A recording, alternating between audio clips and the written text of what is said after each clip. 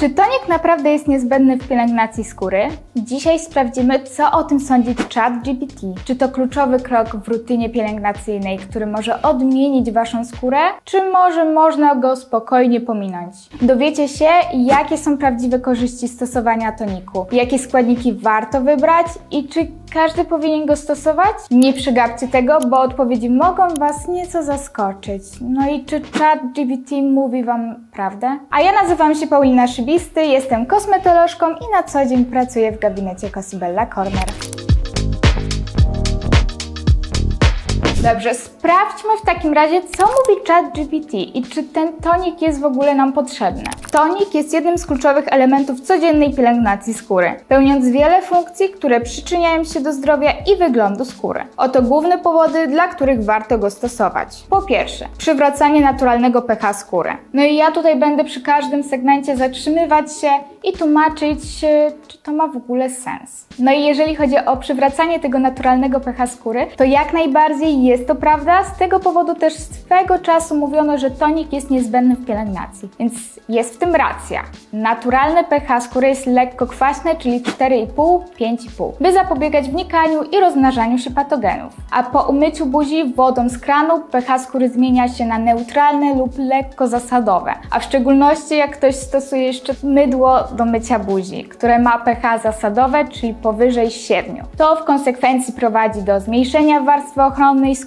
a wtedy skóra gorzej broni się przed czynnikami zewnętrznymi. Więc faktycznie, jeżeli używamy samej wody do mycia twarzy albo mydła, to nasze pH skóry mocno się zmienia. Jednak na rynku pojawiło się dużo delikatnych produktów myjących, które nie zaburzają naszej bariery hydrolipidowej, wręcz nawet ją po prostu poprawiają i nie zmieniają aż tak tego pH skóry. I wtedy stosowanie toniku nie jest niezbędne w pielęgnacji, jednak warto go zastosować, jeżeli mamy ochotę urozmaicić swoją pielęgnację, wzbogacić ją i rozpieścić swoją skórę. No i kolejny punkt, o którym mówi ChatGPT na temat stosowania toników, to usuwanie resztek zanieczyszczeń i makijażu. No i czy ja wiem, jeżeli stosujesz tonik przy pomocy wacików kosmetycznych, to ma to jakieś zastosowanie, bo przecierasz twarz wilgotnym wacikiem, ale właściwie to tyle.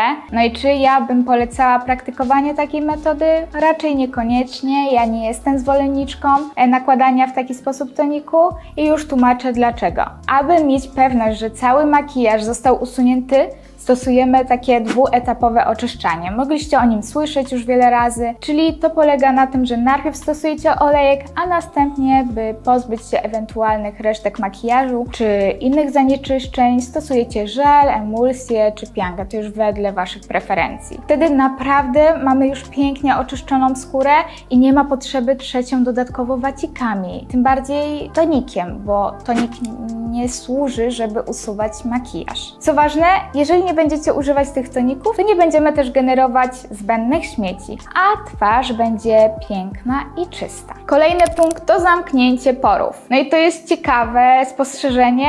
W tym przypadku zależy już, co dany tonik ma za składniki aktywne. Jeżeli posiada na przykład kwas salicylowy czy inny kwas, to pewnie, pewnie ma takie zastosowanie, ale ja kwasów nie zalecam stosować codziennie, a tym bardziej dwa razy dziennie, gdzie na przykład taki kwas salicylowy jest fotouczulający. I o tym mówiłam w tym filmiku, który Wam się wyświetla gdzieś tam na górze. Więc moim zdaniem ten punkt jest trochę naciągany, bo tak samo jakby powiedzieć, że serum zwęża pory. Ale czy każde serum to robi? No oczywiście, że nie. No i jest to zależne od tego, co po prostu znajduje się w tym serum substancji aktywnych i tak samo ma to odniesienie w przypadku toników. Kolejno nawilżenie i odświeżenie skóry. I ten punkt jak najbardziej. Powiedziałabym nawet, że właściwie teraz stosując tonik, to ma jedno z ważniejszych działań w stosowaniu go o ile w toniku nie znajdują się substancje złuszczające. No i kilka polecajek oczywiście, że pokażę na końcu filmiku, więc zostań ze mną do końca. Dobrze, zobaczmy co dalej mówi ChatGPT.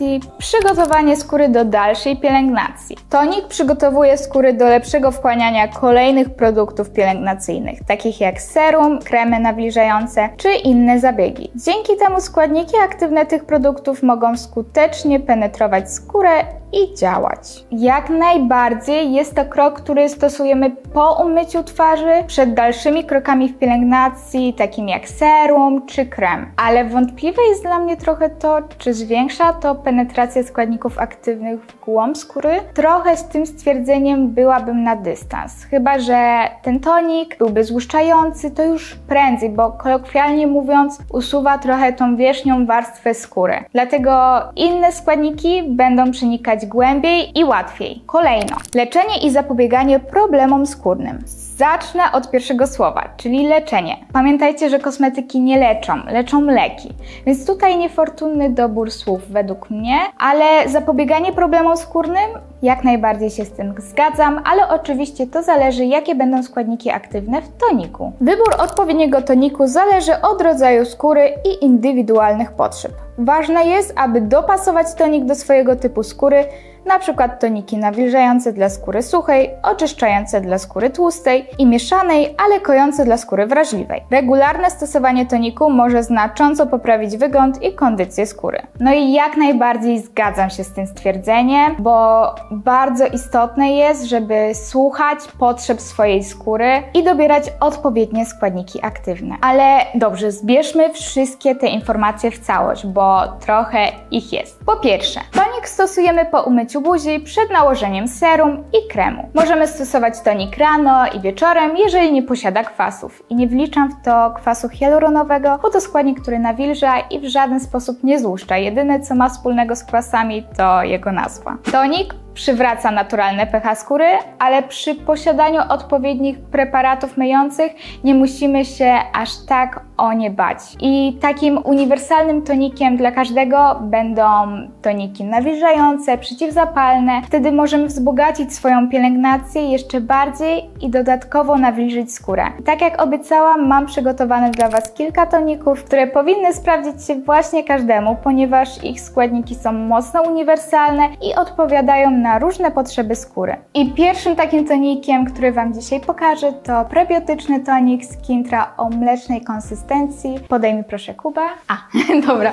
Dobrze, no i co tutaj znajdziemy? Zawiera on innymi falan, inulinę, beta-glukan, alantoinę, które będą odpowiadać za nawilżenie, łagodzenie, kojenie tej skóry i wzmocnienie mikrobiomu skóry. Może odbiegać od takich stereotypowych toników, które kojarzą nam się z bardzo wodnistą konsystencją, ale z pewnością sprawdzi się u osób, które potrzebują odżywienia i odbudowania bariery skórnej. I kolejnym tonikiem będzie tonik Tir Tir z ekstraktem ryżowym i zacznę od pierwszej rzeczy, czyli opakowanie. No i musicie mi przyznać, że jest mega estetyczne, takie bogate w swojej prostocie, powiedziałabym. Jeżeli chodzi o konsystencję, jest taka mleczna, ale zarówno też wodnista, trochę ciężkie jest to do określenia. I znajdziemy w nim ceramidy, ekstrakt z ryżu, rumianku, e, kwas hialuronowy czy też niacynamid. Więc będzie pięknie łagodzić, nawilżać, ale też delikatnie rozjaśniać ze względu na ekstrakt z ryżu